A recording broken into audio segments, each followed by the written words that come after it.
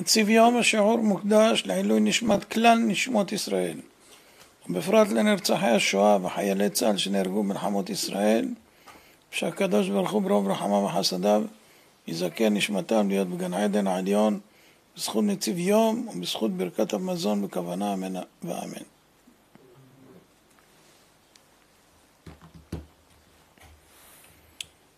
פרק עשירי לכו בנים שמעו לי יראת אדוני ילמדכם מי האיש שחפץ חיים? אוהב ימים לראות טוב. נצור לשונך מרע ושפתיך מתדבר מרמה. סור מרע ועשה טוב בקש שלום ברודפהו. עיני אדוני אל צדיקים ואוזניו אל שומעתם. דוד מלכנו בתהילים ל"ד דוד המלך עליו השלום בא להעיר לנו ולעורר אותנו משנת איוולתנו.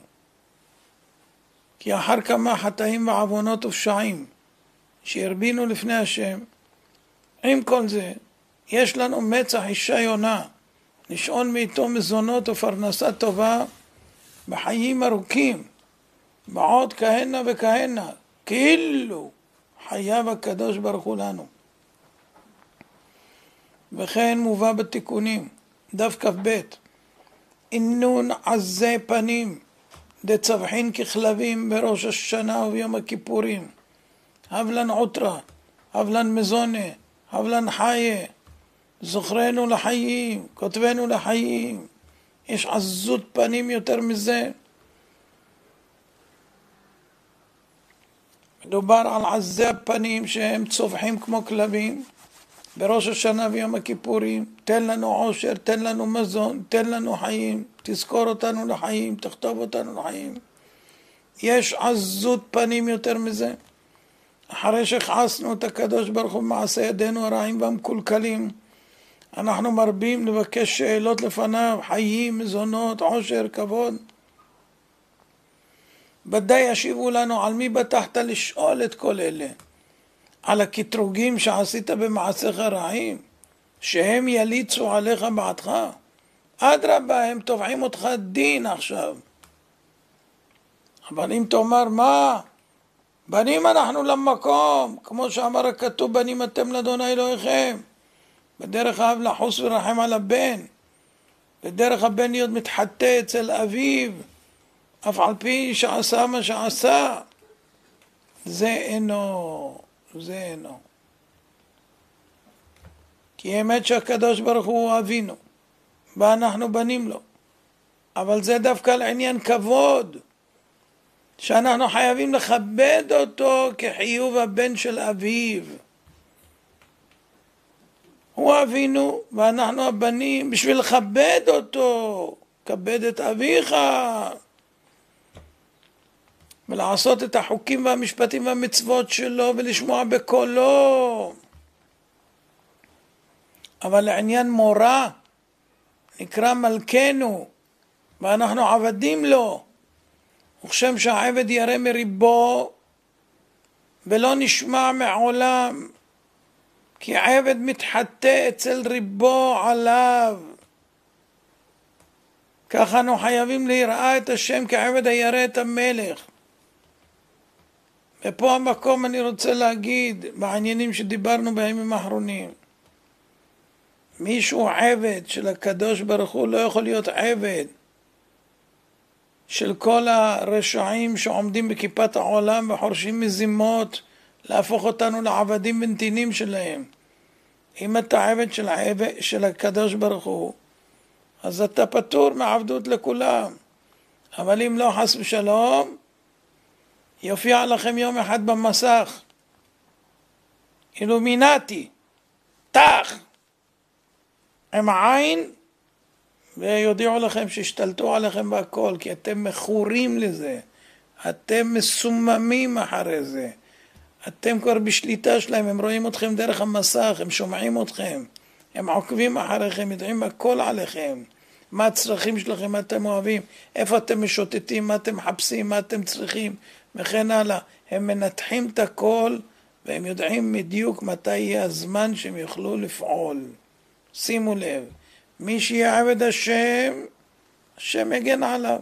אף אחד לא יכול לגעת בעבדי השם. אבל אם לא, זה עבדים של פרעה, של נבוכדנצר ושל כל המרעין בישין האלו. וכן תמצא שאמר הנביא לישראל בשם השם, אם אב אני איה כבודי, ואם אדונים אני איה מוראי. אז רואים שלגבי אב הוא אמר כבודי, ולגבי אדון הוא אמר מוראי. אם אב אני איה כבודי, כבודי זה לעניין אבא, ואם אדונים אני איה מוראי, מורא זה לגבי אדון. אמנם יש לדקדק בפסוק הזה דלאו רשע ספר, הראש והסוף לא הולכים אותו דבר, לא הולכים ביחד, לא מסתדרים לנו. כי בתחילה אמר בן יכבד אב ועבד אדוניו. אם אב אני איה כבודי, ואם אדונים אני איה מוראי. בתחילה כשהוא אומר בן יכבד אב ועבד אדוניו, רוצה לומר יכבד אדוניו. ואחר כך אמר אם אב אני אהיה כבודי, ואם אדונים אני אהיה מוראי. ואם כן, היה לו לומר מתחילה, בן יכבד אב, ועבד ירא מאדוניו. אמנם לפי האמת, זה יכבד אביו, וזה יכבד אדוניו. בעצם שניהם צריכים לכבד. כי כתוב בן יכבד אב ועבד אדוניו, זה חוזר על שניהם. אבל אינו דומה הכבוד של הבן לאבא לכבוד של העבד לאדון. כי הבן מכבד את אביו מאהבה, מצד שהוא אביו, הוא אוהב אותו. העבד מכבד את ריבו, את האדון, מפני המורא שהוא מתיירא ממנו. מצד עצמו, אדרבה, היה ברצונו לנהוג בו ביזיון, על בגלל שהוא מעביד אותו עבודת פרך. אבל מפני היראה, הוא נוהג בו כבוד. נמצא שהבן, אפילו שהוא מתיירא מאביו, הוא מפני הכבוד. אם כן העיקר הוא הכבוד שם. והכבוד שעושה עבד לריבו זה לא מפני הכבוד, זה מפני המורא. ואם כן העיקר הוא המורא. ועל זה אמר בן יכבד אב ועבד אדוניו, רוצה לומר שמכבד אדוניו ומפני שאין זה הכבוד אלא היראה, הסתיר פניו ממנו ואמר סתם.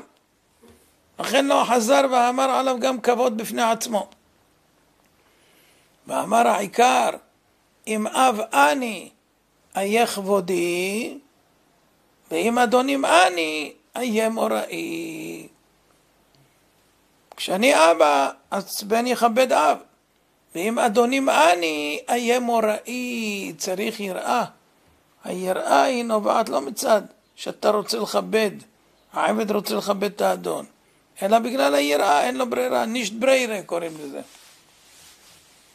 אמנם צריך לדקדק עוד, למה אמר בלשון רבים? אם אדונים אני. היה לו לומר אם אדון אני. מה זה אדונים? אדון. ולמה אמר אדוני בלשון רבים?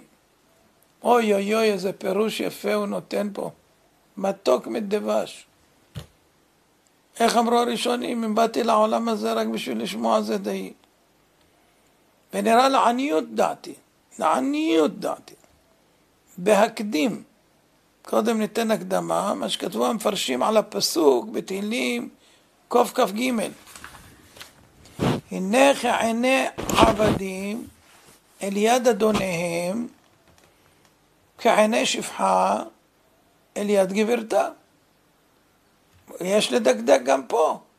למה אמר גבי עבדים אדוניהם, לשון רבים, וגבי שפחה גברתה, לשון יחיד?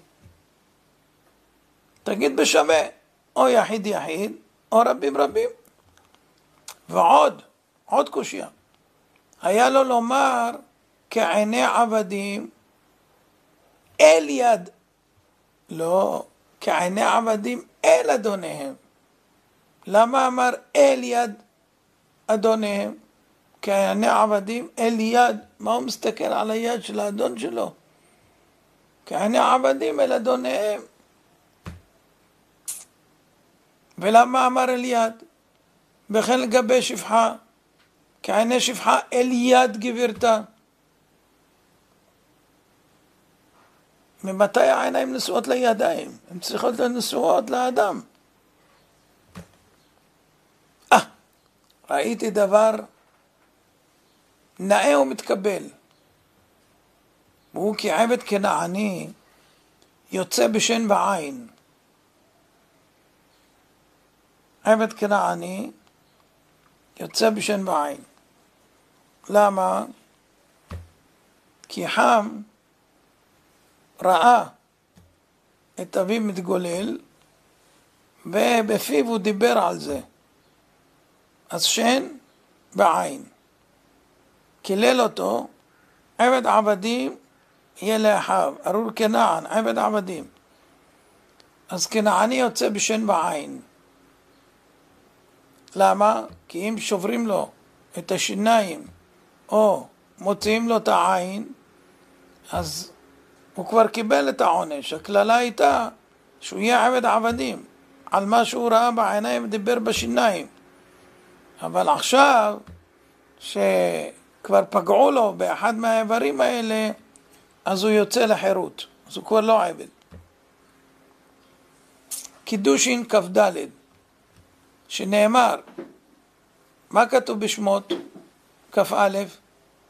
ואם שן עבדו יפיל, כתוב לחופשי ישלחנו תחת שינו, או תחת עינו. זה הדין בעבד כנעני. ואם הגבירה הכתה את השפחה והוציאה עין אמתה או את שינה, אינה יוצאת לחירות, אלא אם כן אם האדון דווקא הפיל את שינה או את עינה, אז יוצאת לחירות, כי היא קניינו. ואם כן, אם רואה האמה שגבירתה מרימה ידה עליה להכותה, אז היא פוקחת את עיניה שלא תפיל לה שן או עין. למה? משום שהשן או העין ילכו, אבל היא לא יוצאת לחירות, אז חבל על העין. אז היא נזהרת מאוד, שהיא מסתכלת על היד שלה כל פעם, ש... אופ, שלא תעשה לה ככה ותתן לה מכה, והיא תאבד אחד מהאיברים והיא לא תצא לחופשי. וכן העבד של שני שותפים אם הפיל אחד מהם את שינו או עינו, אינו יוצא לחירות. ואם כן, גם העבד הזה פוקח עיניו. כשמרים עליו האדון את היד, אחד מהשותפים, לראות שלא יפיל את עינו ואת שינו, כי אינו יוצא לחירות. כמו שפסק הרמב"ם בלקות עבדים ה' ט"ו ט"ז. ומעתה, זה מה שאמר הפסוק. הנך עיני עבדים אל יד אדוניהם. אם יש לו שני אדונים, הוא מסתכל על היד. כי אם אחד יכה אותו, הוא לא יוצא לחירות, הוא יאבד את העין רק בחינם. וכן כעיני שפחה אל יד גבירתה. גם כן אותו דבר. אם היא תוציא לה את העין או תשבור לה את השיניים, היא לא תצא לחירות, לכן מסתכלת על היד שלה, הלו. כן עינינו. כן עינינו אל אדוני אלוהינו עד שיחוננו, עד שיחוננו. רוצה לומר שאנחנו לגבי הקדוש ברוך הוא כעבד של שני שותפים. כן עינינו אל אדוני אלוהינו. למה? שבעולם אנחנו לא יכולים לצאת לחופשי. אין חירות מהקדוש ברוך הוא. לא יכול לצאת לחופשי, אני, כמו שאמרו, להיות עם חופשי בארצנו. אי אפשר לצאת לחופשי, אתה יכול להשאיר מהבוקר עד הערב, אתה לא יכול לצאת לחופשי. אז כן, אנחנו עבדים לקדוש ברוך הוא לעולם, ואין אנו יוצאים ממנו לחירות עולם. ומעתה אפשר שעל זה אמר. עכשיו נחזור לפסוק הקודם. אם אדונים אני אהיה מוראי. שאלנו למה אומר אדונים? תגיד אדון. מתי הקדוש ברוך הוא אדונים? אומר אם אדונים אני אהיה מוראי, מאחר שאתם נחשבים לי כעבד של שני שותפים, נמצא שאני בעיניכם כשני אדונים. רוצה לומר שאינם יוצאים לחירות לעולם, ולזה אמר אם אדונים אני אהיה מוראי, איך אתם לא יראים ממני? אתם לא יכולים לצאת ממני לעולם. מעתה אין פתחון פה לומר שאנחנו בנים. לבוא ולהגיד שאנחנו בנים, אנחנו נתחטא. מה זה מתחטא לפני אביו? מתחטא, הרמב"ם אומר מגעגע. אבא, אבא, ככה. הרב מברטנורה אומר מתגעגע. ומתחטא זה בלשון ארמית, אומר התוספות יום טוב. ובערוך בערך חטא ח' ט'. כי הילדים רכים, אומר התרגום, ארום תליה מחטיין. זאת אומרת, הילדים רכים, זה אומר בערך ח', זאת אומרת זה בארמית מתחטא. בתפארת ישראל אומר, ילד בלשון ארמי זה מחטיה. רוצה לומר שאדם עושה את עצמו כתינוק רך ששואל מאביו, אף שלא כהוגן, אבא, אבא, אבא וכולי. זאת אומרת, אנחנו לא יכולים לבוא עם פתחון פה ולבוא לקדוש ברוך הוא להגיד לו, אנחנו בנים, אנחנו מתחטאים לפני הקדוש ברוך הוא, והוא ימחל לנו כי הוא אבינו. לא, אין לומר כן. כי כל, כי כל האומר הקדוש ברוך הוא ותרן, יוותרו לו חייו. מה זה יוותרו לו חייו? חייו יהיו מיותרים, והשם לא ישמור עליו. יוותרו לו חייו. זאת אומרת, כל האומר שהקדוש ברוך הוא ותרן, ועל זה מתשרי ועד יום הכיפורים אנחנו אומרים, המלך הקדוש, המלך המשפט, כי הוא יושב על כיסא דין, וספרי חיים וספרי מתים פתוחים לפניו, וכל בני העולם עוברים לפניו כבני מרון, וכל בריות בו יפקדו להזכירם לחיים. והאדם נידון מגופו, ממונו, מבניו, וכל אדם נידון לפי מעשיו. בראש השנה מישהו חשב שיהיה קורונה? מישהו חשב שימותו כל האלה שמתו מהקורונה? אף אחד לא חשב, אבל אומרים את זה ולא זוכרים. מה יהיה בהמשך? עוברים לפניו כבני מרון, כמו כבשים, ומסמנים מי יחיה ומי ימות. וכל בריות בו ייפקדו, להזכירם לחיים ולמוות. ואדם נידון מגופו, מממונו, מבניו. מיליון איש חשבו שלא יהיה להם עבודה? יש ציור כזה שמישהו חשב שמיליון איש לא יהיה עבודה? מישהו חשב שכל העולם ככה במדינות בו ייאמר איזו לחרב, איזו לרעב, איזו ואיזו ואיזו. מישהו חלם? אה, קוראים טקסטים. צריך לגמור מהר את הסיפור, ללכת לאכול, לנוח, לבוא לסיים את התפילות, ושלום על ישראל, עברנו את ראש השנה. וכל אדם נידון לפי מעשיו.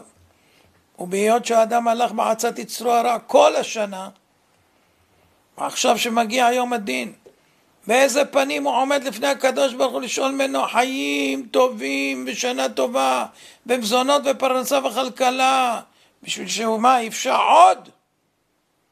בלי להקדים תשובה בבכי וצום ומספד ושברון לב באמת על כל מה שפעל ועשה בעצת יצרו הרע כך צריך אדם למרמר את ליבו בקרבו בתשובה שלמה וימס ליבו כמים בקרבו, ועפעפיו יזלו מים, עדיין לא מאוחר. עבר ראש השנה, עבר יום כיפור, אבל בכל יום אפשר לעשות תשובה, בכל רגע. כי מי יודע מה צופן לנו העתיד. שום דבר לא נגמר, הכל זה רק מתחיל. אז לכן צריכים להאמין. צריך לעשות תשובה על כל מה שעבר את פי השם ועשה ההפך רצונו, לא עד ראש השנה, מראש השנה עד עכשיו. ויעזוב רשע דרכו, וישאב אל מחשבותיו, ויקבל עליו לא לשוב לדרך הרע עוד. ועם כל זה, בעומדו להתפלל לפני השם, יעמוד בבושה וכלימה, בהמה ופחד ורעדה, לשאול מחילה וסליחה וכפרה על כל חטאותיו. ואחר כך, כשישאל מזונות ופרנסה וחיים טובים, ידמה בעצמו כעני, היום לא צריך לדמות, עניים כמעט כולם, ידמה עצמו כעני, שואל על פתח, בתורת צדקה וחסד ומתנת חינם. וכשיראה הקדוש ברוך הוא את גודל תשובתו והכנעתו ועזיבת חטאו, בוודאי יתמלא רחמים עליו וימחול כל חטאותיו וימלא כל משאלותיו לטובה. אבל אם חס ושלום יעמוד לפני השם מטונף, מזוהם מטומאת עוונותיו, טורפים לו תפילתו על פניו, וסורו טמא יאמרו עליו. ולא די שאין נותנים לו מה ששואל, כי אם הוא מעורר את הדין עליו להינקם ממנו על כל חטאותיו ועל עזות פניו. איך ולאו ליבו לבוא אל שער המלך בלבוש מזוהם ומטונף מצואת עוונותיו. ועל כן צריך להתעורר, לדע לפני מי אנחנו עומדים ומתפללים כל יום.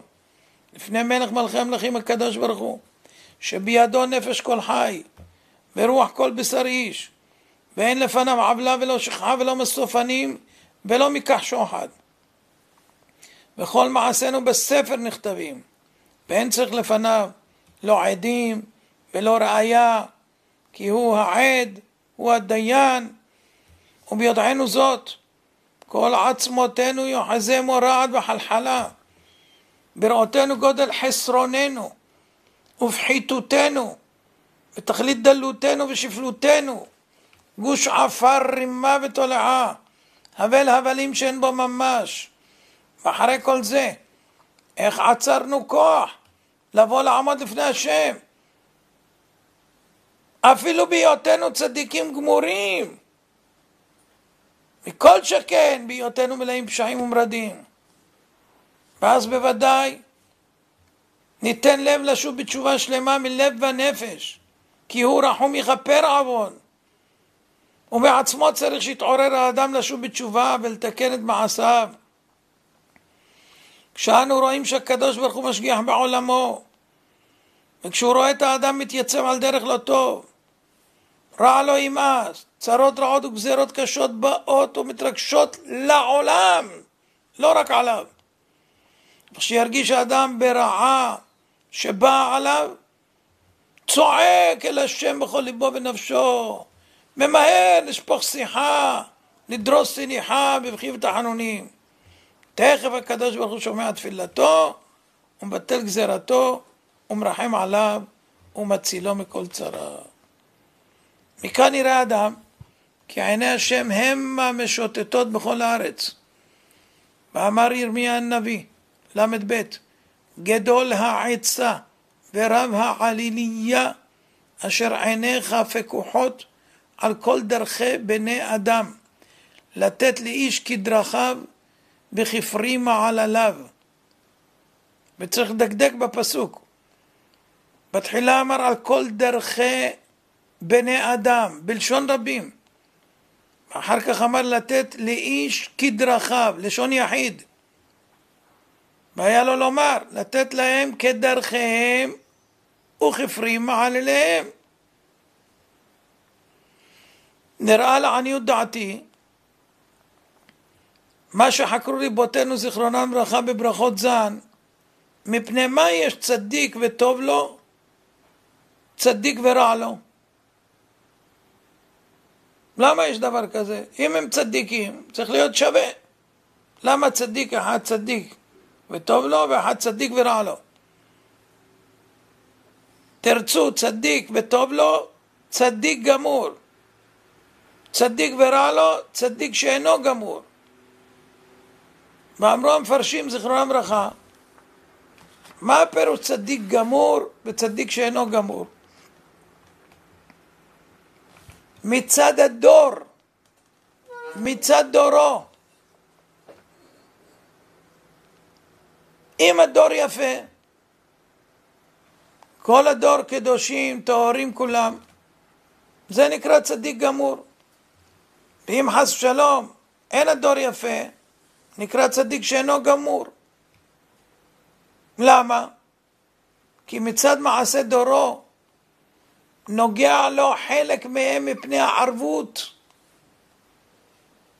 אם הדור הוא על הפנים, יש דין ערבות. צריך להוכיח את הדור, צריך להפוך אותו להיות כשר. וגם כי בני דורו אין להם זכות להתפרנס מצד עצמם. אם הם לא כשרים, אז בזכות מי הם יאכלו? למדנו כבר שרבי חנינה בן דוסה, בשביל שלו כל העולם היה ניזון. כל העולם מתפרנס ממנו. אז זאת אומרת, אם בני הדור אין להם זכות להתפרנס מצד עצמם, הם ניזונים מהזכות של הצדיק. ואז הצדיק מקבל עליו איסורים שהם ראויים לבוא לאנשי דורו. ועל זה יש צדיק ורע לו. אמנם אם הדור יפה,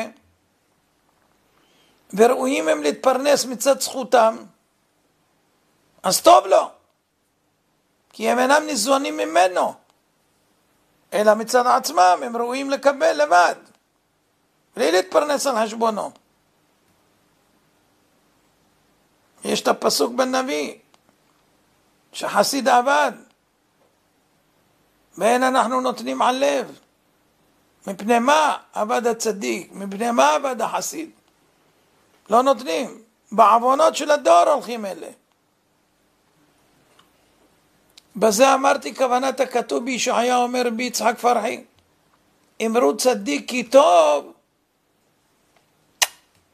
כפרי מעלליהם יאכלו מתי יקרא הצדיק טוב? כפרי מעלליהם יאכלו, כשהם אוכלים את מה שמגיע להם בזכות עצמם, אז הוא נקרא טוב. אבל אם אוכלים על חשבונו, זה נקרא צדיק ורע לו.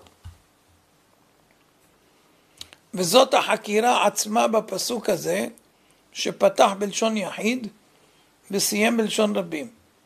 ובמה שכתבנו יבוא היטב. בעוונותינו הרבים, עינינו הרואות על רוב הצדיקים שהם מלאים ייסורים וחסרון כיס קשה. ומתי יימצא צדיק וטוב לו? זה מה שאומר, אמרו צדיק כי טוב, מתי זה? רוצה לומר איזה צדיק יהיה טוב לו? ומשיב, תדע, מתי יהיה לצדיק טוב? בזמן שפרי מעלליהם יאכלו, בזמן שהדור יפה, והם לא ניזונים מזכותו של הצדיק. אלא פרימה עליהם יאכלו. אז יש צדיק וטוב לו. וזהו גם כן גדול העצה ורב העליליה.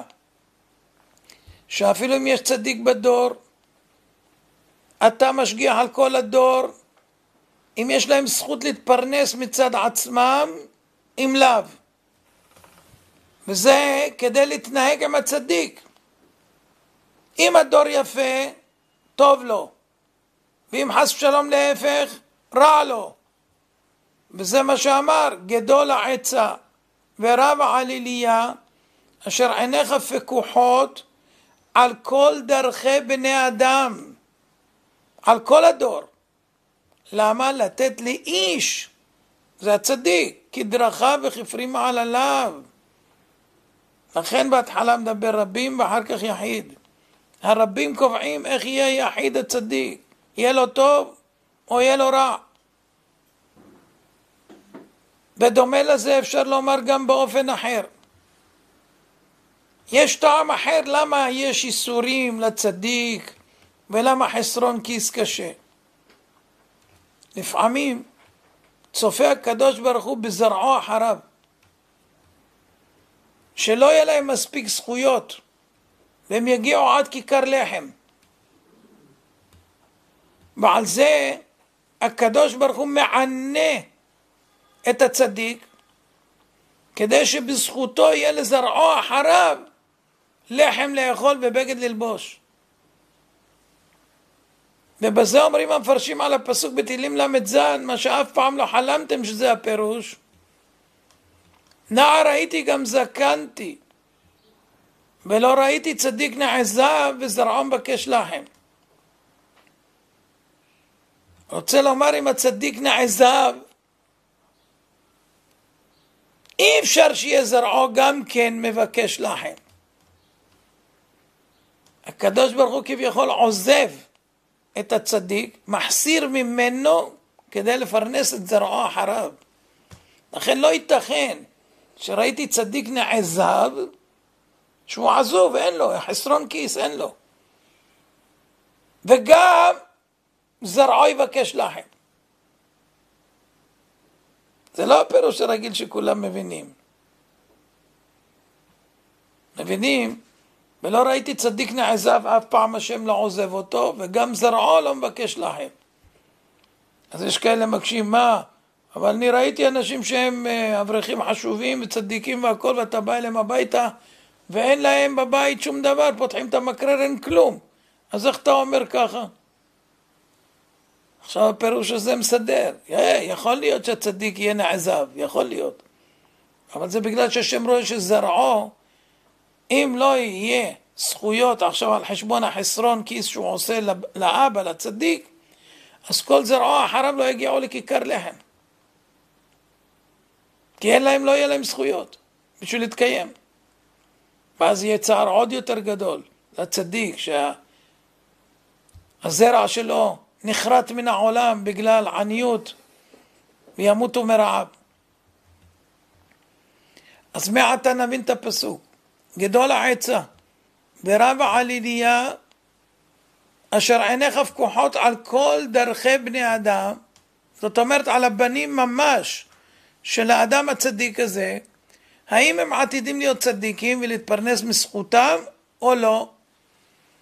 וכל זה למה אתה מפקח על זה? כדי לתת לאיש כדרכיו וכפרי מעלליו. זאת אומרת הוא התייחס אליו בהתאם למה שראה בזרעו. אז מכאן יראה אדם את רוב השגחתו של הקדוש ברוך הוא על האדם, שהוא צופה עתידות, והוא יודע נסתרות, בוחן לבבות, חוקר כליות, ויודע אם שב האדם בתשובה שלמה מלב ומנפש, על מנת שלא לחזור עוד לסורו הרע כל ימי העולם, או האם התשובה היא לפנים רק, מפני פחד השם ומהדר גאונו עד יעבור זעם, ואז חס ושלום הוא יחזור לסורו. ודאי שתשובה כזו נחשבת עבירה מאחר כי הוא גונב את דעת המקום ומראה בעצמו כאילו אין הקדוש ברוך הוא יודע נסתרות ובוחן לבבות. ואז אדרבה הסנגור הופך להיות קטגור. ואוי לזמן הנאבד להבל בריק ולבסוף גם עולה חרס בידו. לכן חיוב מוטל עלינו לתקן את כל אשר פגן, פגמנו לגדור את כל אשר פרצנו לבער את הטומאה מן הקודש להוציא גילולים מבית השם. ואם אין אנו לנו, מי לנו? מי יטהר את כתמי עוונותינו? חוץ ממנו, על ידי כוח דמעות שנוזלים מהעיניים כמעיין מתגבר, בכוח התשובה והמעשים טובים, לבנות כל אשר הרסנו. ומתי נעצור כוח לעשות תשובה? היום קצר במלאכה מרובה, ואם לא עכשיו, אימתי? ובפרט כשבא יום הדין צריך ללבוש חרדה ואימה ויראה ורטט וזיעה וחלחלה כי אינו יודע באיזה ספר ייכתב באיזה גזרות יגזרו עליו כי הוא מלך יושב על כיסא דין וצריך להיראה ממנו כי עתה דין מלך יש לו ואנו העבדים שלו ולגבי יראה לא שייך תואר אב, באנו דין בנים, כי אם הוא מלך, אנחנו עבדים. לכן כל אותם ימים אנחנו אומרים המלך הקדוש, המלך המשפט. אל תחלום שהוא אבא שלך עכשיו. אין להתחטא. עכשיו זה יראה. וזה הפסוק שפתחנו בהתחלה. יונתן, פתחנו בהתחלה. לכו בנים, שמעו לי, יראת אדוני אלמדכם. רוצה לומר, תשמעו זה פירוש, מתוק מדבש, רבי יצחק פרחי, אה, לכו בנים, לכו מהסברה שלכם שאתם בנים, לכו בנים, וכל מה שאתם עוברים את פי השם, אתם חולמים שהוא מוחל לכם ורחם עליכם כעבד בן ירצה. זה אינו. לכן שמעו לי, כי יראת אדוני ילמדכם.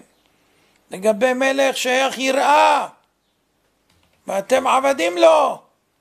לכן אומר לכו מבנים, ולחשוב שאתם בנים. תשמעו לי, יראת אדוני ילמדכם, אתם צריכים לירוא כעבדים מפני המלך. ומעתה, מי האיש השומע זה ויעמוד לפני הקדוש ברוך הוא בראש השנה ויום הכיפורים בעזות מצח לומר זוכרנו לחיים, תן לנו עושר, תן לנו מזונות. על זה אומר מי האיש ששומע את זה בחפץ חיים, בחפץ חיים, אוהב ימים לראות טוב, ברוב עושר וכבוד. תן לי, תן לי, תן לי. מבלי שיתקן את מה שהוא פגם. מי האיש? באיזה עזות פנים אתה בא ומבקש? אוהב ימים, לראות טוב, רוצה. ואם חס ושלום הוא עושה כך וככה הוא חושב, גורם שהתעוררו עליו כמה מקטרגים. לזה אמר נצור לשונך מרע. רוצה לומר מחמת הקטרוגים, שלא יליצו עליך רעה, וגם שפתיך מדבר מרמה. אתה מתוודה מהפרק, אבל לא מהלב. בשפתיך מדבר מרמה. השפתיים רק מדברות, הלב לא. זה מרמה. אז מה עושים? המשך הפסוק, סור מרע.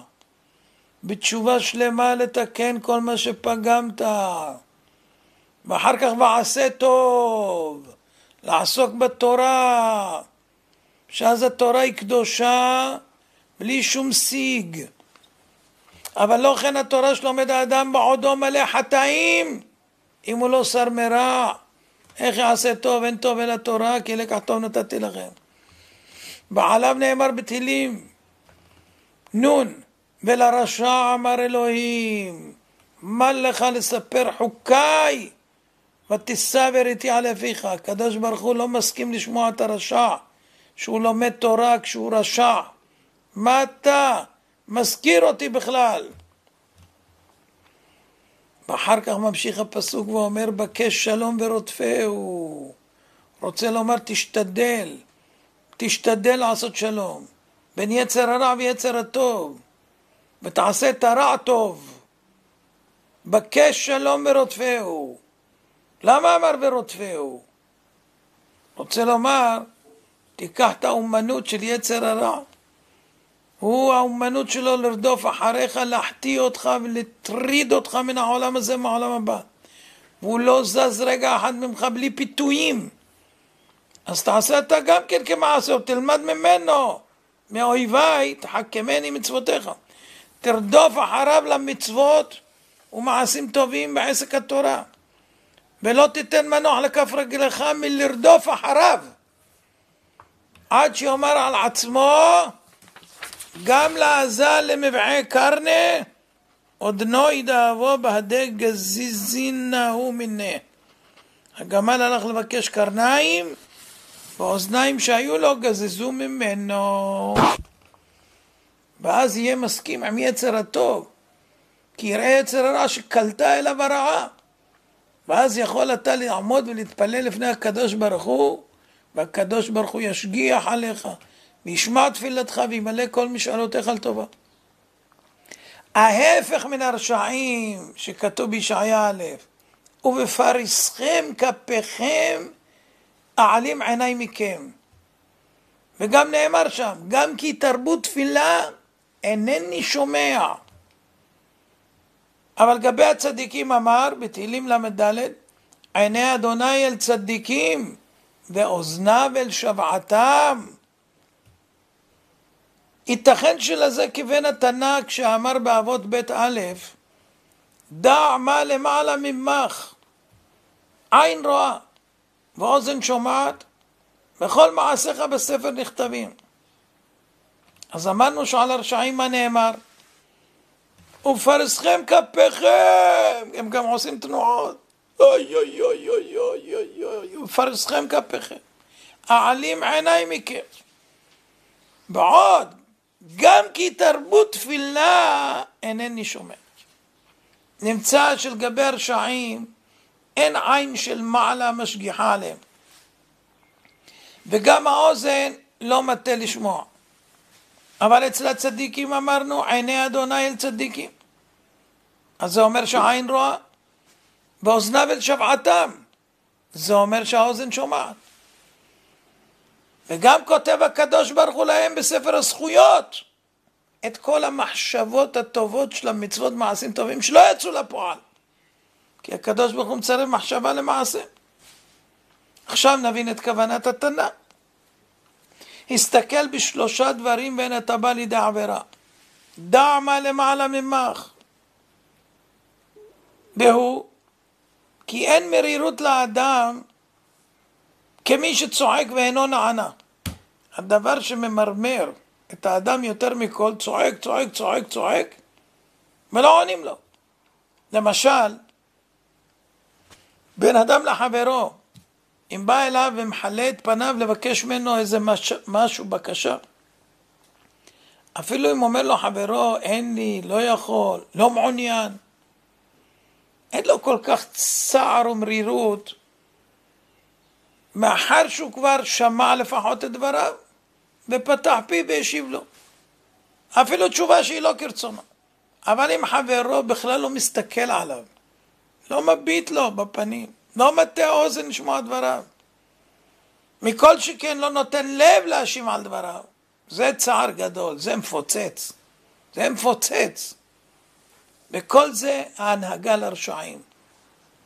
וההפך מזה לצדיק. ואפילו את המחשבות שחושבים הצדיקים, הקדוש ברוך הוא מחשיב להם כמעשים טובים. ולכן אמר התנא, הסתכל בשלושה דברים, ואין אתה בא לידי עבירה. דע מה למעלה ממך, מי למעלה ממך הצדיק. דע, כדאי לך לדעת איך מתנהגים עם צדיקים ועם רשעים. דע, מה למעלה ממך. אם תזכה לעלות למעלה, להיות צדיק כמו הצדיקים, אז תזכה להיות כמותם.